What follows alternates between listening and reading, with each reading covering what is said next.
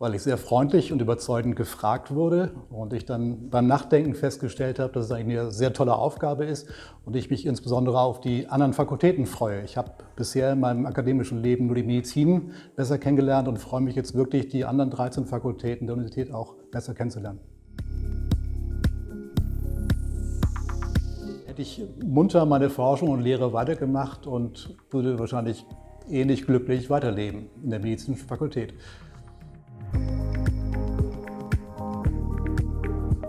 Ja, Forschung und Transfer der Universität weiter voranzubringen. Das vorangegangene Rektorat hat das ja sehr schön vorbereitet. Und ich glaube, das sind Aufgaben, die jetzt neu dazukommen, wie das Großforschungszentrum und die Exzellenzinitiative, die herausfordernd sind.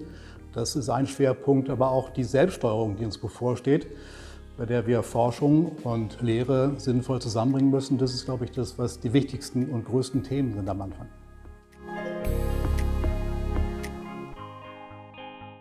Ja, zum einen das Großforschungszentrum, was kommen wird, so einzubinden, äh, dass die Lehre und die Forschung an der Universität maximal gewinnt dadurch und die Interaktionen gut ablaufen, dass wir weiterhin unsere Exzellenz stärken. Und damit meine ich nicht nur die Exzellenzinitiative des Bundes, sondern allgemein Spitzenforschung jedweder Couleur und dass wir in der Selbststeuerung möglichst gut mit den Ressourcen umgehen, sodass Forschung und Lehre maximal gestärkt werden und wir auch ein bisschen Rücklagen bekommen, wenn mal eine Havarie auftritt oder eine Neuberufung kommt, die etwas teurer wird.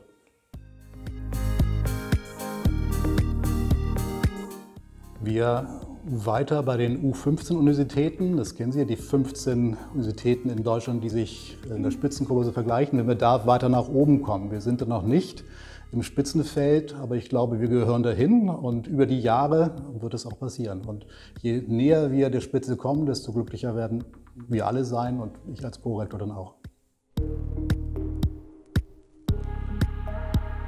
Super spannend. Eine sehr schöne, breit aufgestellte Universität mit tollen Le Leuten, sowohl bei den Studierenden wie bei den Wissenschaftlern wie auch in der Verwaltung, wie ich jetzt kennenlernen durfte in den letzten Tagen.